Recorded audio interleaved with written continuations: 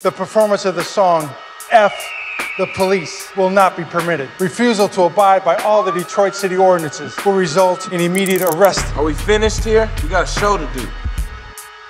Just watch yourself. I got something to say.